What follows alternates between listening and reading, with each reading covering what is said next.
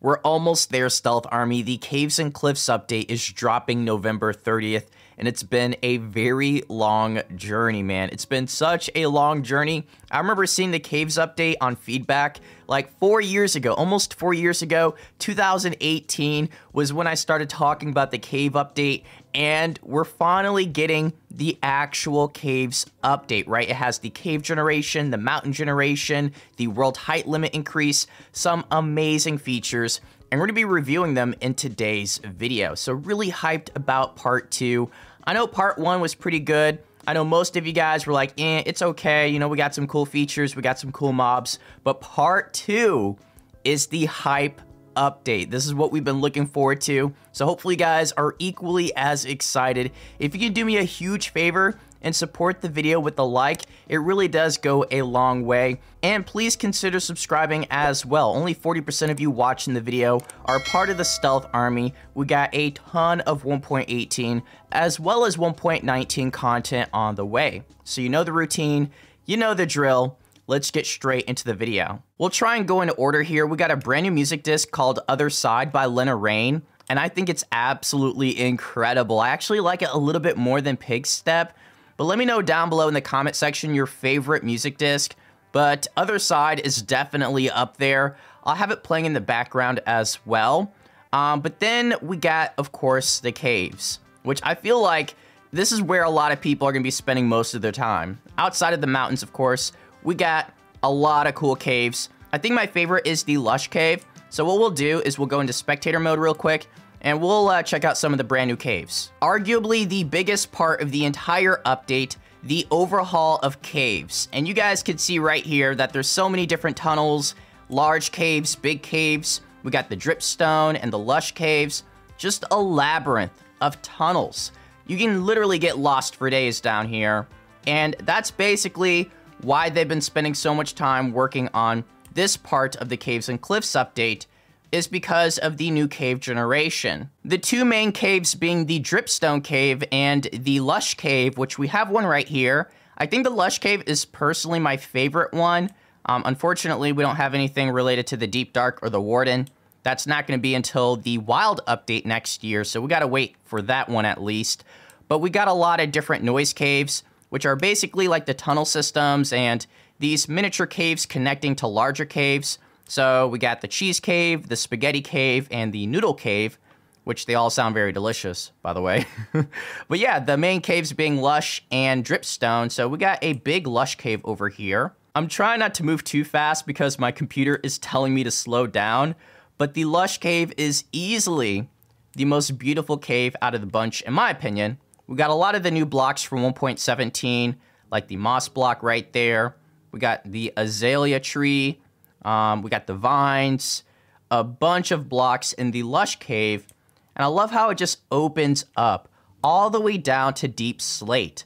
So a lot of blocks related to deep slate as well that was released in 1.17. So overall, I just love the world generation. I love how the caves open up, how there's different layers to the caves, and uh, it gets really dangerous down here. But of course, there's going to be opportunities to get a ton of ore, through mining the ore veins. So I think it's just a really fun way to mine now. I'm not a huge fan of strip mining. I've been saying that for countless years. So it's just really good to see different ways to mine and collect materials. We got ourselves the Dripstone Cave right here, and you will not catch me hanging out in this biome. Very dangerous and super creepy at the same time. I'm more than likely to die down here at least once, uh, but you got the stalactite, stalagmite, I think that's how you pronounce it, probably not but it looks really beautiful in a really creepy, dangerous way.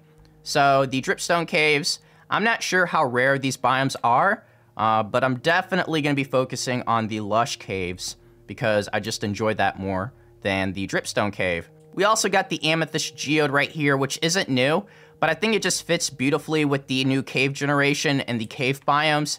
You can see some of the vines. It's just really nice to see everything fit together now. We got the mine shaft, which can generate in the deep slate area. Actually, we got one right here. we got a mine shaft all the way down in the deepest parts of the cave. In fact, how far down are we? And that just lets you know that you can find content and features all the way at the very bottom of the caves now. So really far down, um, very dangerous. Like I'm using night vision, so this would probably be like pitch black if I wasn't using night vision or didn't have torches or something.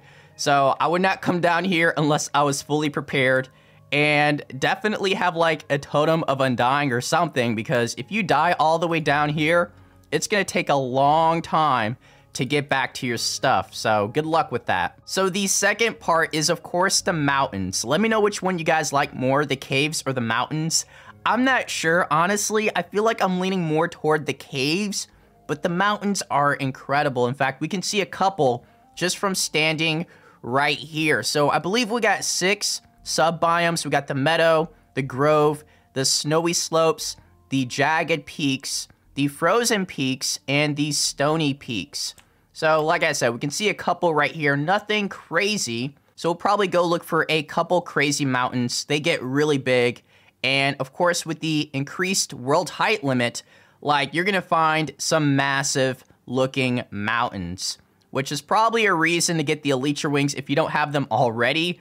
I, I definitely encourage you guys to prioritize the Elytra Wings once 1.18 comes out. One of the reasons why I love the new world generation is because everything feels like amplified now. Like everywhere you go, it just feels like amplified. Even though we're not playing an amplified right now, like this is not amplified. This is just your average 1.18 world generation and it looks incredible. Like seeing villages this high up, I don't think this is something I would have imagined happening even a year ago. And now this is going to be a very common type of uh, generation. Very common to see this type of thing now. So I can't wait to find some really awesome villages. As I mentioned earlier, mountains will come in all different shapes and sizes. Like this is a little baby mountain right here. This might be the frozen peaks. Let me see what this is. The snowy slopes. So that lets you know how tiny these mountains can get, which honestly, this isn't really tiny when you're standing down here. When you're high up in the sky, it looks tiny, but just look at this mountain. it's massive. It would take me like 10 minutes to climb this mountain. And more than likely, I'd freeze to death on the way. So, like, these mountains just take up so much of the world now. And they're just beautiful. They're absolutely stunning to see. And of course, there's probably large caves underneath these mountains. And eventually, I imagine uh, the deep dark city will be beneath the mountains as well. And of course, that's due to the uh, increased world height limit. So I imagine people will start building up here, making some really crazy stuff. So I can't wait to see what you guys come up with. There's something very beautiful about how all the biomes flow together now, like they just blend together. I know that's something Mojang's been focusing on a lot lately, and it shows, like, you can just tell how everything just sort of flows together in a really unique way. I know some of you guys have been telling me you're not a huge fan of how everything just seems to be hills and mountains and curves around, like there's not enough flatlands. But I feel like for too long, we've just had pretty much flat biomes, right? Just everything's been flat for such a long time. So it's nice to see that there's some curvature to the biomes now. Ideally, I think there should be a blend there should definitely be more flats instead of just mountains and hills and caves and formations. So hopefully they'll find a balance in the future. I imagine this is something they're going to continue to work on for, you know, forever, right? It's never going to end working on the world generation.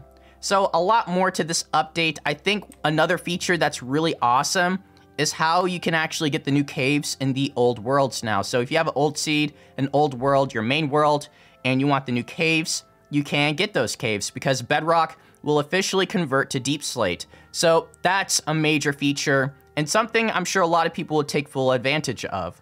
So thanks again guys for watching the video. Let me know down below in the comment section your favorite feature in 1.18 and uh, I'll catch you all in the next video. So take care. Peace.